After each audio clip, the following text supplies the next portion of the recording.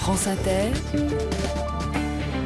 Le 7-9 de Patrick Cohen. Bonjour Guillaume Pépi. Bonjour. Au moment où la SNCF lance une opération séduction pour mieux indemniser ses retards, on va y venir, vous voilà condamné par le tribunal de Paris. Une jeune femme de 25 ans affirmait qu'elle avait perdu son emploi à Lyon à cause des retards répétés de son TER au départ d'Amberieux. La justice lui a donné raison. Que vous inspire ce jugement qui pourrait euh, donner des idées à d'autres usagers euh, exaspérés, Guillaume Pépi? Bah, vous savez, une trentaine d'affaires par an devant la justice, euh, c'est tout à fait normal. On transporte chaque année un milliard de voyageurs. une trentaine de plaintes ou de, procès voilà, contre vous. Dans certains cas, on gagne, dans certains cas, on perd. C'est des cas d'espèce. Mais la, la, bonne solution pour les clients lorsqu'ils sont mécontents, c'est qu'il y a un médiateur indépendant à la SNCF qui traite chaque année 5000 ou 6000 dossiers.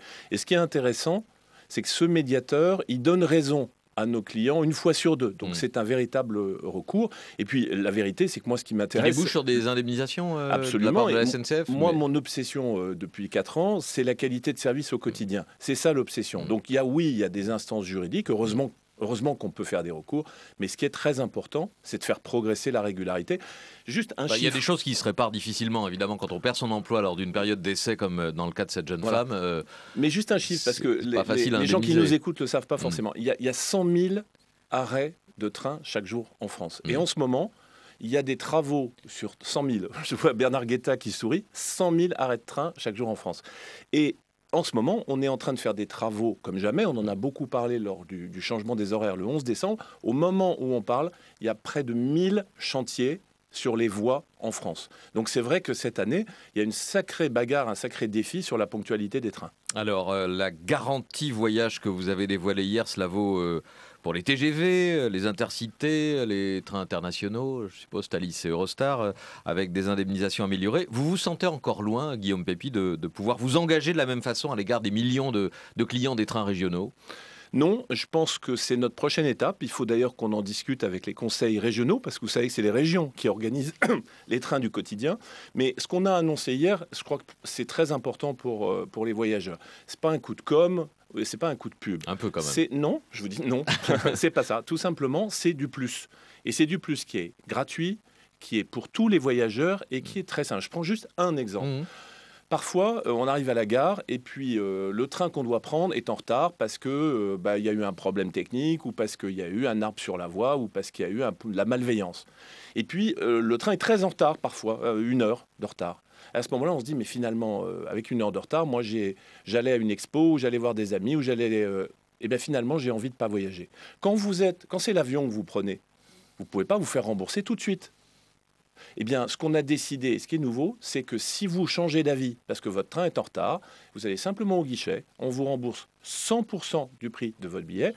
Il n'y a pas un euro en moins, on vous le rembourse en espèces et même, même quand votre billet est non échangeable, non remboursable, et même quand le retard du train n'est pas de notre faute. Mmh. Donc ça, c'est une vraie avancée. On en a discuté depuis six mois avec les associations de consommateurs. Elles nous ont même fait euh, progresser en nous disant, si jamais c'est pas de la faute de la SNCF, quand même, il faut avoir le droit au remboursement et c'est un remboursement hmm. intégral et en espèces. Bon, l'information aussi améliorée euh, avec sur Internet un historique détaillé des retards sur un mois. Euh, bah, J'ai envie de vous dire, ça vous fait une belle jambe de savoir que. Non, non, non, non c'est un bison futé. Euh, prenons un, exemple simple. vous prenez un train et, vous allez à un spectacle de théâtre, je sais pas, ce que vous voulez. Hmm. Ben, c'est très important pour vous de savoir si le train que vous allez prendre est un train qui est à l'heure dans 95 ou 98 ou 99% des cas, ou si parce que c'est un train qui circule bah, sur une portion de voie très utilisée ou à une heure de pointe, le train n'est à l'heure que 8 fois sur 10 ou 9 fois sur 10. Donc ça, c'est de la transparence. On trouvera donc au moment de la réservation toutes les infos sur la régularité de chaque train depuis 60 jours. Et il y a encore une autre chose qui est très importante. Beaucoup de voyageurs nous ont dit, quand on a un billet, euh, alors que le train est complet, hein, ces fameux billets euh, sans place attribuée mmh. qu'on a achetés en disant bon, bah, je trouverai bien une place. Oui, il y a le risque de rester debout. Hein. Voilà, ce qui est franchement désagréable. Deux mesures concrètes qui sont annoncées. D'abord, on vous reclasse même en première. Deuxièmement, si on n'arrive pas à vous trouver un siège, ben, le contrôleur ou la contrôleuse vous donne tout de suite jusqu'à 30 euros, on va dire une forme de compensation, tout de suite pour vous dire oui, on est désolé, on n'a pas pu vous trouver une place assise. Bon, c'est des choses extrêmement concrètes mmh. et encore une fois, c'est gratuit, c'est pour tous et c'est clair. Je dis c'est clair parce que c'est pas écrit en tout petit derrière les billets. C'est six principes qu'on va sur les pochettes. Sur les pochettes, dans les gares et dans les crins écrits en gros. Hmm. Alors, accusation récurrente qui vient d'être relayée par un rapport euh, parlementaire, c'était le, 7 mars dernier, euh, qui juge que la SNCF est plus intéressée par le TGV que par le RER e et les trains de banlieue. Que leur répondez-vous euh, Mais ça député eh ben Ça a été vrai. Tout le monde le sait. Tout le monde le sait. Les années 80-90, la France a fait beaucoup, beaucoup de TGV et elle a un peu laissé tomber le reste. Moi, ma priorité depuis 4 ans, c'est exactement l'inverse. Hmm. C'est les RER, c'est les TER. On a fait des trucs hein, déjà. Il y a des résultats concrets. Le RER A, qui est la ligne la plus utilisée, hein, Est-Ouest qui traverse la région parisienne, il y a des nouveaux trains qui arrivent. La ligne B, qui est la Nord-Sud, euh, qui va vers euh, Sceaux et puis euh, vers hmm. l'aéroport, on est en train de la reconstruire. On reconstruit les voies et on rénove tous les trains. Hmm. Au milieu de l'année prochaine, tout sera neuf sur la baie. Et puis un dernier qui a la particularité d'être géré à la fois par la RATP et la SNCF, c'est pas un souci. Euh, il ne faut pas changer ça, euh, Guillaume Pépi? Euh, lancer une grande réforme qui prendra trois ans et pendant ce temps-là il se passera rien. Moi je préfère m'entendre avec la RATP hmm. pour travailler ensemble main dans la main. Et vous vous entendez bien. Exact. Et puis la troisième chose qu'on fait, hmm. c'est qu'on est en train d'engager 400 millions d'euros de dépenses sur le RERC et le RERD pour avoir des améliorations au quotidien. Hmm. Moi, c'est très simple. Hein. Je suis un usager du RER comme beaucoup de gens qui nous écoutent. Le RER, c'est ma priorité absolue mm. parce qu'il faut avoir en tête que la SNCF, c'est pas que le TGV. 9, 9 voyageurs sur 10, 90% des voyageurs de la SNCF, c'est pas des voyageurs TGV, c'est des gens qui utilisent au quotidien les TER, les RER, les Transiliens. Bon, et il y a encore du boulot. Et ah, donc, ce que euh, ce qu'on peut, entendre ce matin de votre bouche, c'est qu'il faudra encore investir massivement pour que ça s'améliore. Ça, c'est pour l'État et pour les régions Oui, il, y aura même d'ailleurs un beau débat euh, dans, l'avenir. Hein. Est-ce que notre pays, puisqu'on est en période électorale, est-ce que, est que notre pays continue à développer les lignes à grande vitesse il y a plein de projets, hein. il y a une dizaine de projets en France, ça, c'est la décision des politiques. Où est-ce qu'on garde un peu d'argent, voire beaucoup d'argent, pour les lignes existantes sur lesquelles il y a aujourd'hui les millions et millions hmm. d'usagers quotidiens? Ben, On n'a pas eu encore ce débat là dans la présidentielle. Vous avez vu, vous, des ah, différences ou des nuances dans les programmes des, ah. des différents candidats en matière de, transport public là-dessus, euh, Guillaume Pépi? C'est un, responsable, un patron d'entreprise publique en période électorale, ça se tait. Ça, ça ferme sa bouche. Si vous avez vu des différences. J'ai rien vu, moi. Vous n'avez rien, vu. Bon, personne, personne ne remet en cause les, les projets de ligne à grande vitesse Non, il y a un débat là-dessus, il est légitime. Bon, et puis c'est pas du tout blanc et c'est pas du tout noir. Il faut trouver le point d'équilibre entre le développement de notre réseau, parce que le TGV c'est une fierté française. On sait ce qu'on doit au TGV. S'il n'y avait pas le TGV, la SNCF serait pas ce qu'elle est aujourd'hui. On est le deuxième du monde hein, en matière de transport ferroviaire, la France. Le premier, c'est les Allemands. Nous, on est le deuxième. On l'est aussi grâce au TGV.